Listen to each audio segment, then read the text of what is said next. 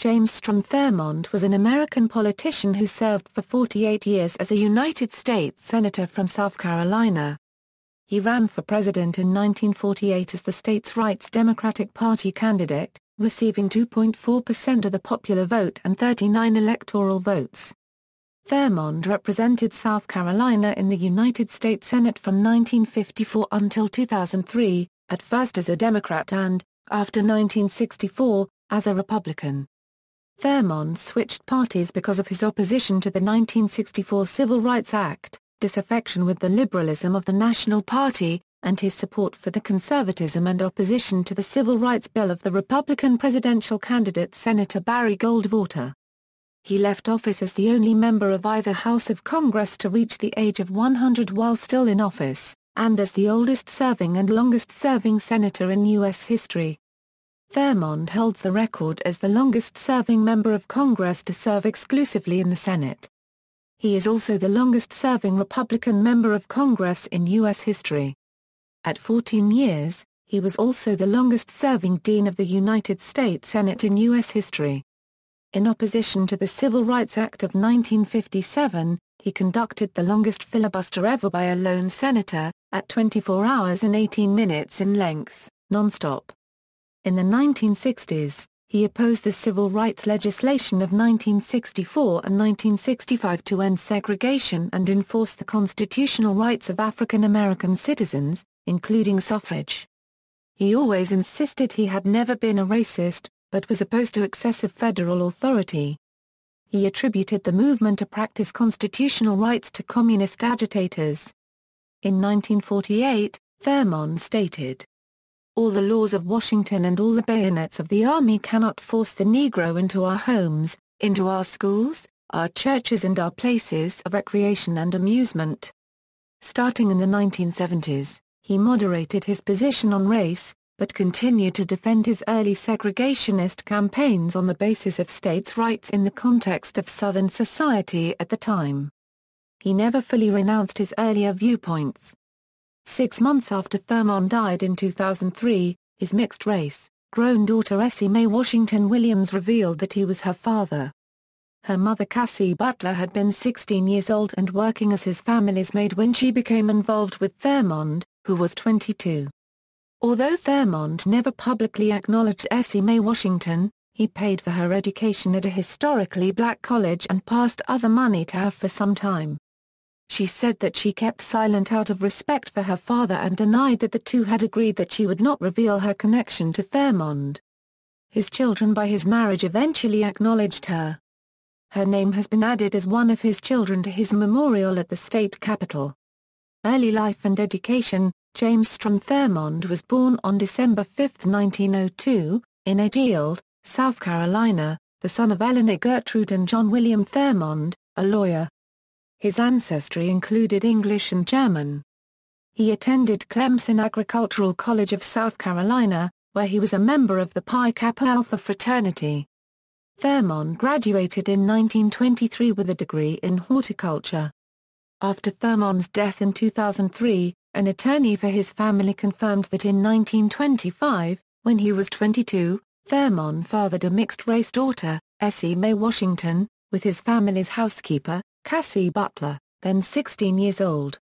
Thurmond paid for the girls' college education and provided other support. Essie Mae Washington was raised by her maternal aunt and uncle, and was not told about Thurmond as her father until she was in high school, when she met him for the first time. Early career After college, Thurmond worked as a farmer, teacher and athletic coach until 1929, when at age 27 he was appointed as Edgefield County's Superintendent of Education, serving until 1933. Thurmond studied law with his father as a legal apprentice and was admitted to the South Carolina Bar in 1930. He was appointed as the Edgefield Town and County Attorney, serving from 1930 to 1938. In 1933 Thurmond was elected to the South Carolina Senate and represented Edgefield until he was elected to the 11th Circuit judgeship. World War II In 1942, after the U.S. formally entered World War II, Judge Thurmond resigned from the bench to serve in the U.S. Army, rising to lieutenant colonel. In the Battle of Normandy, he landed in a glider attached to the 82nd Airborne Division. For his military service, he received 18 decorations, medals and awards, including the Legion of Merit with Oak Leaf Cluster, Bronze Star with Valor Device, Purple Heart, World War II Victory Medal, European African Middle Eastern Campaign Medal, Belgium's Order of the Crown and France's Croix de Guerre. During 1954 Euro 55 he was president of the Reserve Officers Association. He retired from the U.S. Army Reserves with the rank of Major General. Governor of South Carolina, Thurmond's political career began under Jim Crow laws, established by the start of the 20th century, together with an 1895 constitution that effectively disfranchised blacks from voting, at a time when they constituted the majority of the state's population. White voters in South Carolina strongly resisted early efforts of civil rights activists to regain their ability to vote and to achieve civil rights. Running as a Democrat in the one-party state, Thurmond was elected governor of South Carolina in 1946, largely on the promise of making state government more transparent and accountable by weakening the power of a group of politicians from Barnwell, which Thurmond dubbed the Barnwell Ring, led by House Speaker Solomon Blatt. Many voters considered Thurmond a progressive for much of his term, in large part due to his influence in gaining the arrest of the perpetrators of the lynch mob murder of Willie Earle. Though none of the men were found guilty by the all-white jury, Thurmond was congratulated by the National Association for the Advancement of Colored People and the American Civil Liberties Union for his efforts to bring the murderers to justice. Run for President In 1948, President Harry S. Truman ordered the end of racial discrimination in the U.S. Army, proposed the creation of a permanent Fair Employment Practices Commission, supported the elimination of state poll taxes, and supported drafting federal anti-lynching laws. In response, Thurmond became a candidate for president on the third-party ticket of the state's Rights Democratic Party. It split from the National Democrats over the threat of federal intervention in state affairs regarding segregation and Jim Crow. Thurmond supporters took control of the Democratic Party in the Deep South, and Truman was not included on the presidential ballot. Thurmond carried four states and received 39 electoral votes, but Truman was re-elected. In 1948, Thurmond said the following in a speech, when he was met with cheers by supporters, a listener. I want to tell you, ladies and gentlemen, that there's not enough troops in the army to force the Southern people to break down segregation and admit the Negro race into our theaters, into our swimming pools, into our homes, and into our churches. Early runs for Senate, according to the state constitution, Thurmond was barred from seeking a succeeding second term as governor in 1950, so he mounted a Democratic primary challenge against first-term U.S. Senator Olin Johnston. In the one-party state of the time, the Democratic primary was the only competitive contest. Both candidates denounced President Truman during the campaign. Johnston defeated Thurmond 186,180 votes to 158,904 votes. It was the only statewide election which Thurmond lost. In 1952, Thurmond endorsed Republican Dwight Eisenhower for the presidency, rather than the Democratic nominee Adlai Stevenson. State Democratic Party leaders blocked Thurmond from receiving the nomination to the Senate in 1954, and he ran as a write-in candidate. Senate career, 1950s, the incumbent U.S. Senator, Burnett R. Maybank, was unopposed for re-election in 1954, but he died in September of that year, two months before Election Day. Democratic leaders hurriedly appointed State Senator Edgar A. Brown, a member of the Barnwell Ring, as the party's nominee to replace Maybank. The Brown campaign was managed by future Governor John C. West. In a state where the Democratic nomination was tantamount to election, many criticized the party's failure to elect a candidate by a primary vote. Thurmond announced that he would mount a write-in campaign. At the recommendation of Governor James Byrnes, Thurmond campaigned on the pledge that if he won, he would resign in 1956 to force a primary election which could be contested. Thurmond won overwhelmingly, becoming the first person to be elected to the U.S. Senate as a write-in candidate against ballot-listed opponents. In 1956, Thurmond resigned to run in the party primary, which he won. Afterward, he was repeatedly elected to the U.S. Senate by state voters until his retirement 46 years later, despite his mid-career party switch from Democrat to Republican in 1964. Thurmond supported racial segregation throughout much of his career. He wrote the first version of the Southern Manifesto, announcing Southern disagreement with and resistance to implementation of school desegregation following the 1954 U.S. Supreme Court decision in Brown v. Board of Education, which ruled that public school segregation was unconstitutional. Many southern states conducted resistance. In some jurisdictions public schools were closed. In others, whites started private religious schools and enrolled their children in those. In an unsuccessful attempt to derail passage of the Civil Rights Act of 1957, Thurmond made the longest filibuster ever conducted by a single senator, speaking for a total of 24 hours and 18 minutes. Cots were brought in from a nearby hotel for the legislators to sleep on while Thurmond discussed increasingly irrelevant and obscure topics, including his grandmother's biscuit recipe.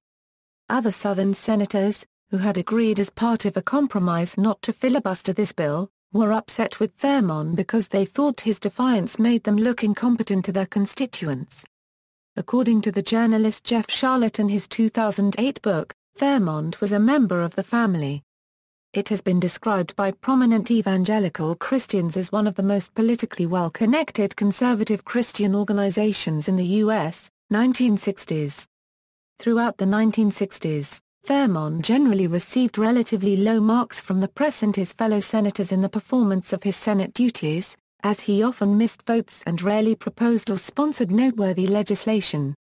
Thurmond was increasingly at odds with the National Democratic Party, some of whose leaders were supporting the civil rights movement led by African Americans in the South seeking enforcement of their constitutional rights as citizens to suffrage and equal treatment under the law. On September 16, 1964, he switched his party affiliation to the Republican Party. He played an important role in attracting support among white voters in South Carolina for the Republican presidential candidates Barry Goldwater in 1964 and Richard Nixon in 1968. South Carolina and other states of the Deep South had supported the Democrats in every national election from the end of Reconstruction, when white Democrats re-established political control in the South, to 1960. However, discontent with the National Democrats' increasing support for civil rights resulted in John F. Kennedy's barely winning the state in 1960. Adlai Stevenson had narrowly won the state in 1952 by only 5,000 votes, receiving 50.72% of the vote compared to 49.28% for Dwight D. Eisenhower. In comparison, in 1948, the GOP candidate for president, Thomas Dewey, had received just 3.78% of the vote. After the assassination of President Kennedy, President Lyndon B. Johnson's campaign for passage of the Civil Rights Act of 1964 and the Voting Rights Act of 1965 angered white segregationist Democrats. These laws ended segregation and committed the federal government to enforce voting rights of citizens by the supervision of elections in states in which the pattern of voting showed that blacks had been disfranchised. Many in the Democratic Party strongly opposed these laws, including Senator Robert Byrd, who filibustered the Civil Rights Act of 1964 for 14 hours and 13 minutes on June 9 and 10, 1964. Goldwater won South Carolina by a large margin in 1964. In 1966, former Governor Ernest Fritz Hollings won South Carolina's other Senate seat in a special election. He and Thurmond served together for just over 36 years, making them the longest-serving Senate duo in American history. Thurmond and Hollings had a very good relationship, despite their often stark philosophical differences. Their long tenure meant that their seniority in the Senate gave South Carolina a good measure of clout in national politics, despite its modest population. At the 1968 Republican National Convention in Miami Beach, Florida, Thurmond, along with Mississippi State Chairman Clarke Reed, former U.S. Representative and gubernatorial nominee Howard Callaway of Georgia, and Charlton Lyons of Louisiana held the Deep South states solidly for Richard M. Nixon despite the sudden last-minute entry of Governor Ronald Reagan of California into the race.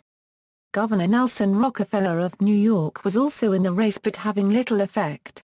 In the fall 1968 general election, he won South Carolina with 38% of the popular vote and gained South Carolina's electoral votes.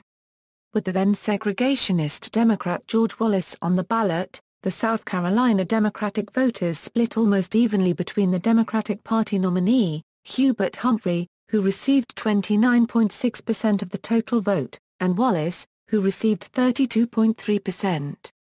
Other Deep South states swung to Wallace and posted weak totals for Nixon. Thurmond had quieted conservative fears over rumors that Nixon planned to ask either liberal Charles Percy or Mark Hatfield to be his running mate. He informed Nixon that both men were unacceptable to the South for the vice presidency.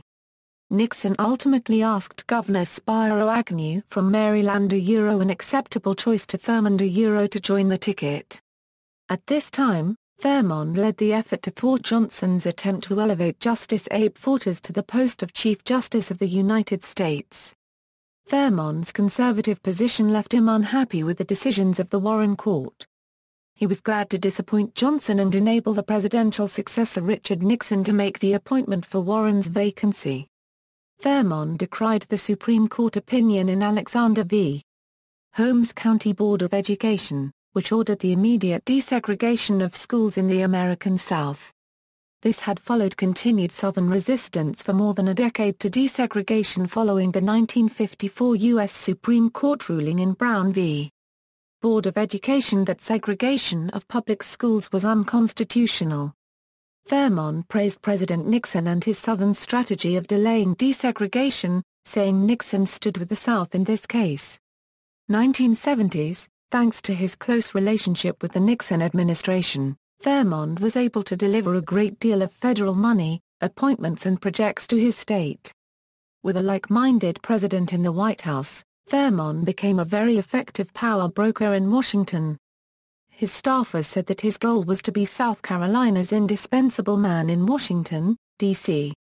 In the 1970 gubernatorial election, Thurmond's preferred candidate, conservative U.S. Representative Albert W. Watson, was defeated by the more moderate opponent, Democrat John C. West, who had opposed Thurmond's initial write-in election to the Senate and the then outgoing lieutenant governor. Watson had defected to the GOP in 1965 the year after Thurmond's own bolt, and had been politically close to the senator. Watson's defeat caused Thurmond slowly to moderate his own image in regard to changing race relations. In 1970, Thurmond urged Nixon to nominate another South Carolina Republican convert, Joseph O. Rogers, Jr., to a federal judgeship. He had been the party's unsuccessful 1966 gubernatorial nominee against the Democrat Robert Evander McNair. At the time Rogers was the U.S. Attorney in South Carolina. When his judicial nomination dragged on, Rogers resigned as U.S. Attorney and withdrew from consideration. He blamed the Nixon administration, which he and Thurmond had helped to bring to power, for failure to advance his nomination in the Senate because of opposition to the appointment from the NAACP. On February 4, 1972, Thurmond sent a secret memo to William Timmons and United States Attorney General John N. Mitchell, with an attached file from the Senate Internal Security Subcommittee, urging that British musician John Lennon be deported from the United States as an undesirable alien, due to Lennon's political views and activism. The document claimed that Lennon's influence on young people could affect Nixon's chances of re-election, and suggested that terminating Lennon's visa might be a strategy countermeasure. Thurmond's memo and attachment, received by the White House on February 7, 1972, initiated the Nixon administration's persecution of John Lennon that threatened the former Beatle with deportation for nearly five years from 1972 to 1976. The documents were discovered in the FBI files after a Freedom of Information Act search by Professor Jon Wiener, and published in Wiener's book Gimme Some Truth, the John Lennon FBI Files. They are discussed in the documentary film, The U.S. vs. John Lennon. During this period, the NSA reportedly had been eavesdropping on Thurmond's conversations, using the British part of the Echelon project. In 1976, Thurmond appeared in a campaign commercial for incumbent U.S. President Gerald Ford in his race against Thurmond's fellow Southerner, former Georgia Governor Jimmy Carter. In the commercial, Thurmond declared that Ford sound, ed more like a Southerner than Jimmy Carter. Post-1970 views regarding race, in 1970, blacks still constituted some 30% of South Carolina's population. In 1900, they had constituted 58.4% of the state's population. Thousands of blacks left the state during the first half of the 20th century in the Great Migration to escape the Jim Crow laws and seek opportunities in the industrial cities of the North and Midwest. After the Voting Rights Act of 1965 was implemented, African Americans were legally protected in exercising their constitutional rights as United States citizens to register to vote in South Carolina without harassment or discrimination. State politicians could no longer ignore this voting bloc, who were allied with increasing numbers of white residents who supported civil rights. Thurmond appointed Thomas Moss, an African American, to his Senate staff in 1971. It has been described as the first such appointment by a member of the South Carolinian congressional delegation. In 1983, he supported legislation to make the birthday of Martin Luther King, Jr. a federal holiday. In South Carolina, the honor was diluted. Until 2000 the state offered employees the option to celebrate this holiday or substitute one of three Confederate holidays instead. Thurmond never explicitly renounced his earlier views on racial segregation. Later career Thurmond became president pro tempore of the U.S. Senate in 1981, and held the largely ceremonial post for three terms, alternating with his longtime rival Robert Byrd, depending on the party composition of the Senate. During this period, he maintained a close relationship with the Reagan White House. Thurmond served as the ranking member of the Senate Judiciary Committee during the hearings on the nomination of Clarence Thomas to the U.S. Supreme Court in 1991 and worked closely with Joe Biden, then the chairman. He joined the minority of Republicans who voted for the Brady Bill for gun control in 1993. On December 5, 1996, Thurmond became the oldest-serving member of the U.S. Senate, and on May 25, 1997, the longest-serving member, casting his 15,000th vote in September 1998. In the following month, when astronaut John Glenn was to embark on the Discovery at age 77, Thurmond, who was his senior by 19 years, reportedly sent him a message saying, I want to go too. Toward the end of Thurmond's Senate career, Critics suggested that his mental abilities had declined. His supporters argued that, while he lacked physical stamina due to his age, mentally he remained aware and attentive, and maintained a very active work schedule, showing up for every floor vote. He stepped down as chairman of the Senate Armed Services Committee at the beginning of 1999, as he had pledged to do in late 1997. Declining to seek re-election in 2002, he was succeeded by fellow Republican Lindsey Graham. Thurmond left the Senate in January 2003 as the United States' longest-serving senator. In his November farewell speech in the Senate, Thurmond told his colleagues I love all of you, especially your wives, the latter being a reference to his flirtatious nature with younger women. At his 100th birthday and retirement celebration in December, Thurmond said, I don't know how to thank you. You're wonderful people, I appreciate you, appreciate what you've done for me, and may God allow you to live a long time. Thurmond's 100th birthday celebration generated controversy because of remarks by Mississippi Senator Trent Lott that were considered as racially insensitive. When Strom Thurmond ran for president, Mississippi voted for him. We're proud of it. And if the rest of the country had followed our lead, we wouldn't have had all these problems over the years either. Lott was ousted as Senate Majority Leader. Personal life, marriages and children, Thurmond married his first wife, Jean Crouch, in the South Carolina governor's mansion on November 7, 1947.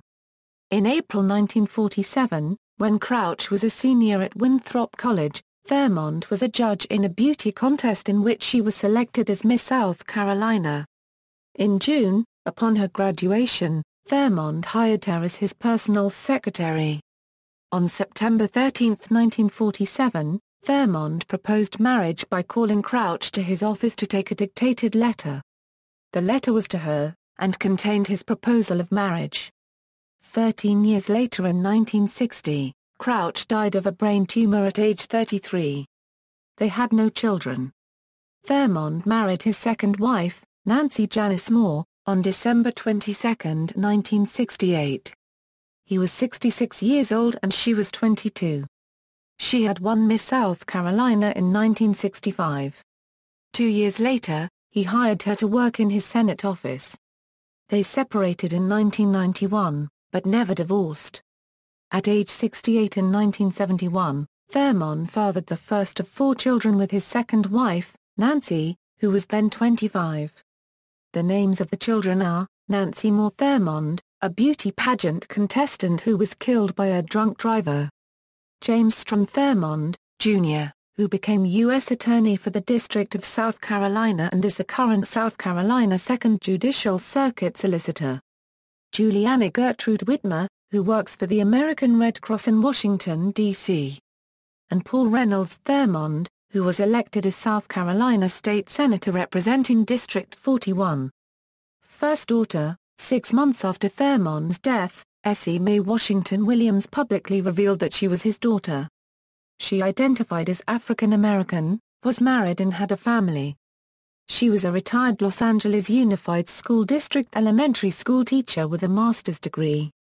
She was born on October 12, 1925, to Carrie Tunch Butler, who had worked for Thurmond's parents and was 16 years old when Thurmond, then 22, impregnated her.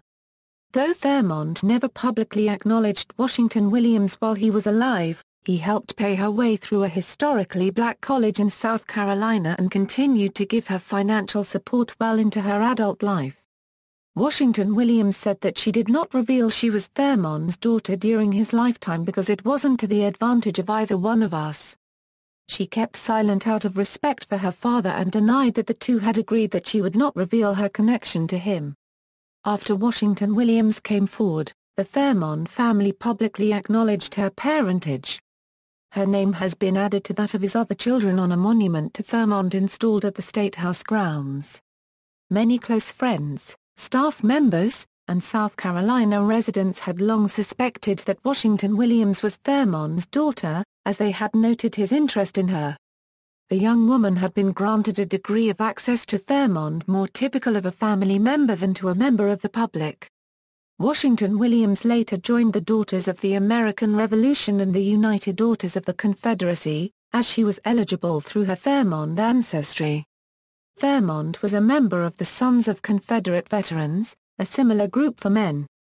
She encouraged other African Americans to learn their ancestry and join the lineage associations, to promote a wider sense of American history, including its long history of interracial families.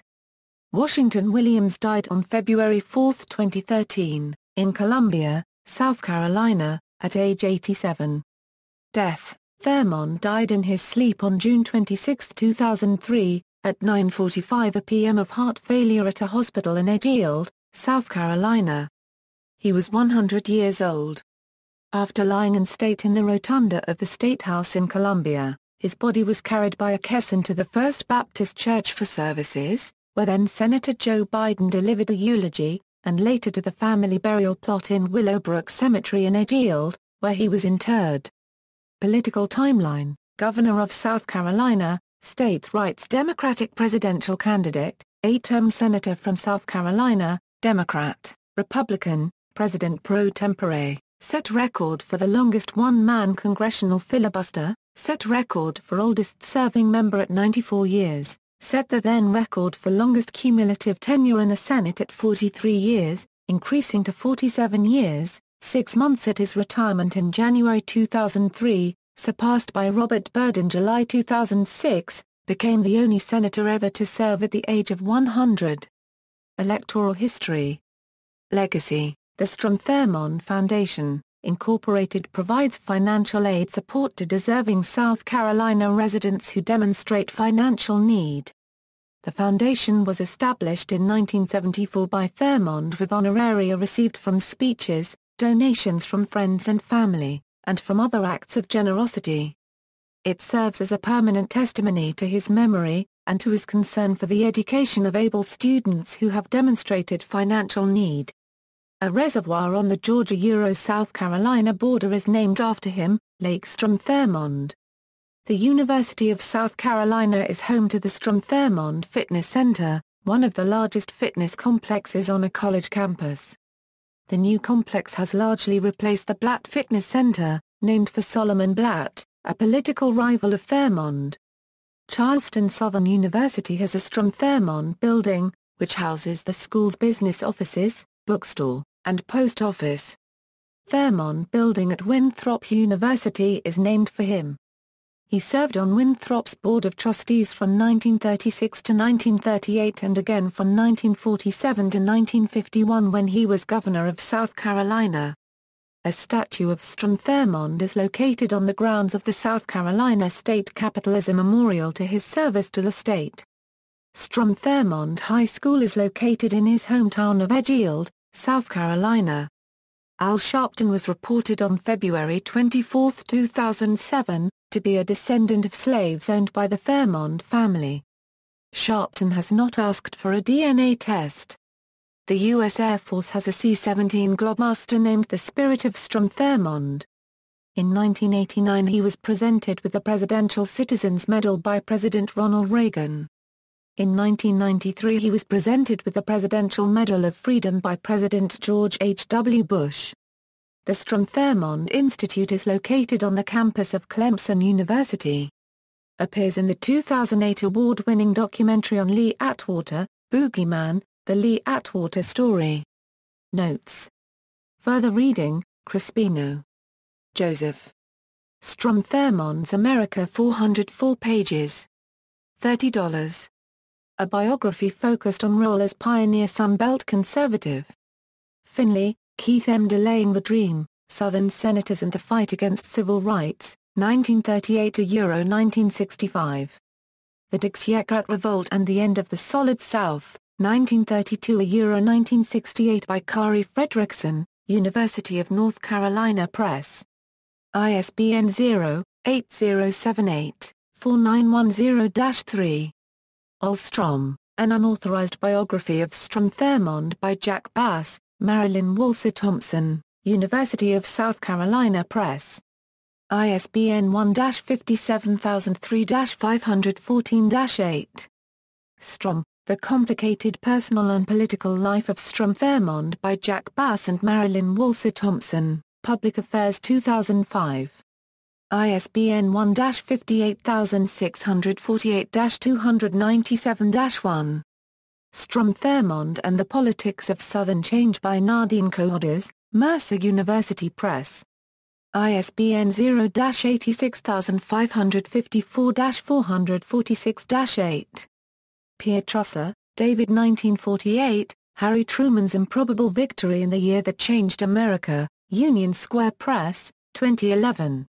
Primary sources, The Faith We Have Not Kept, by Strom-Thurmond, Viewpoint Books, 1968.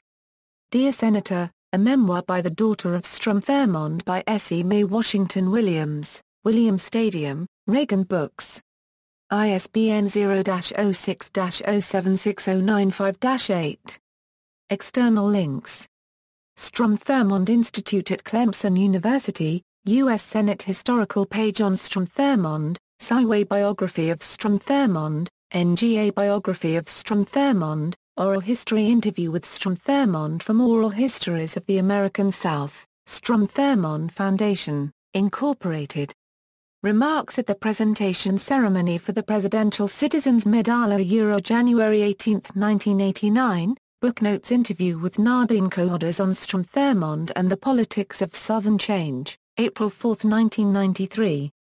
Complete transcript and audio and video of Senator Joe Biden's eulogy for Strom-Thurmond, Articles, Strom-Thurmond's family confirms paternity claim, by David Mattingly, CNN.com, December 15, 2003, Biography at the Biographical Directory of the United States Congress, The Scarred Stone, The Strom-Thurmond Monument by Joseph Crespino, Emory University, April 29, 2010, Obituaries, Tribute to Strom Thurmond from the Statio Euro June 26, 2003, Strom Thurmond dead at 100 at the Wayback Machine, CNN, June 26, 2003, Strom Thurmond dead at 100. By James D. Liberto Jr., Fox News, June 26, 2003, Strom Thurmond. Find a grave. Retrieved August 4, 2008 A.